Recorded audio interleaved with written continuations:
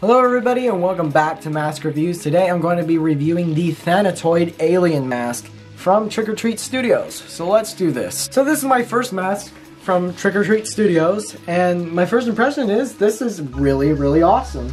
I like the way this mask looks. It's very H.R. Giger. Nice details and everything going on right here.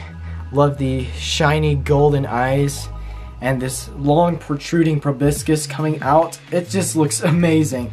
And this mask is one of my favorite ones in particular. It's really grabbed my attention way back when I was a child. I've actually been looking at latex masks for a very, very long time, and I've always seen this one on the internet. And, you know, just now I thought, you know, hey, what if I got this one and reviewed it and had a look at it? And when I got it, I am not disappointed. I especially love the fact that there's many protruding details on top of the head, on the sides of the head, and even the eyes kind of go in and kind of like a skull formation. And with this nose and everything, just the details are so incredibly good. And of course, this Thanatoid was sculpted by Bill Malone. So you can see right here, and it actually has a date which is 1983 this this was sculpted I mean this is a really great sculpt he did a really good job nice design very H.R. Giger inspired very much like a face hugger merged with a human face and never let go and this is just what happened yeah this is awesome very cool looking alright well I have it stuffed with newspaper because I originally got this all warped and crushed. Once again, some masks that you get will be warped and crushed in the mail because they get just folded to be in the packaging to fit in there. But I was able to reshape it with a little bit of newspaper foam head and then I used a heat gun. The heat gun helps kind of not melt the rubber but soften it and then it'll reshape onto whatever form you have. So use the newspaper to reshape it, you know the list. But yes, great looking mask. And I love the crack designs. Look at that. I love the crack details on this head. Got crack details everywhere. These are some of the best looking details. Like right here. Love it. anyway, this mask is so creepy and so cool in every way. And hopefully I'll be able, once again, I keep saying this over and over about all these masks that I get. Hopefully I'll be able to do a short film. Because I've been wanting to do a short film for a long time and this was actually from a never made film called The Mirror. That was like a horror movie, of course. Look at this thing. It's pretty grotesque. But yes, uh, if I could do a little thing that what I think The Mirror would have been, then yeah, that'd be actually pretty cool. Anyway, as you can see, I have some newspaper in here. I'm to take it out and then I'm going to put the mask on. So, let's do this. Alright, so th those of you who already know, know that I wear two beanies because if the mask is too big, I'll wear one or two beanies depending on the size of the mask.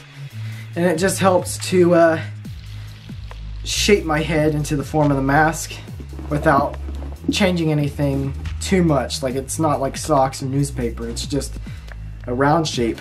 And as you can tell, this is definitely bigger than my head. So, anyway. And these mirror lenses, they're like a two-way mirror. You can't, they're kind of blurry, but it's still pretty cool. I still really like the way that looks. Anyway. So if I don't look at you directly, you'll know why.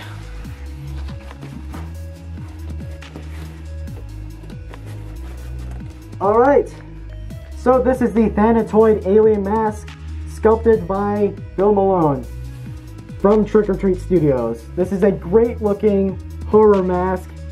Very cool looking alien design. And a nice proboscis just right here. Look at that thing. Crazy. But yeah, great horrific looking mask. Can scare a lot of people or gross them out, one thing or another. But yeah. We're gonna do a full turnaround, of course, as I always do. So you can see the full-on mask. But yeah, it's very nice. And with the two beanies, it's very well done movability. Very well movability.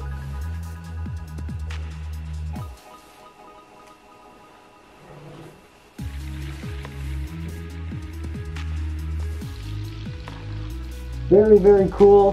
Very great looking mask. Very creepy.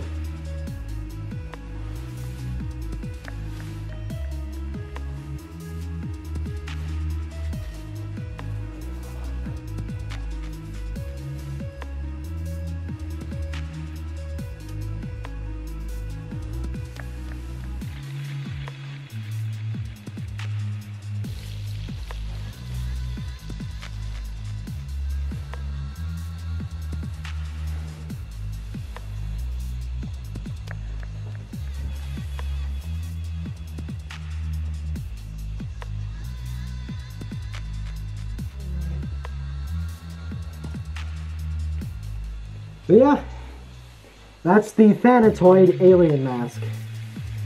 So guys, that was the Thanatoid alien mask from Trick or Treat Studios. Thank you so much for watching this video. I hope you liked it. I hope you liked this design.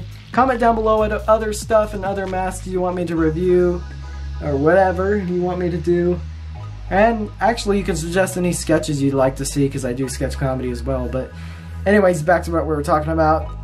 That's it for the Thanatoid mask. Thank you so much for watching this video. Hope you enjoyed it, and you will see me in the next video. Goodbye.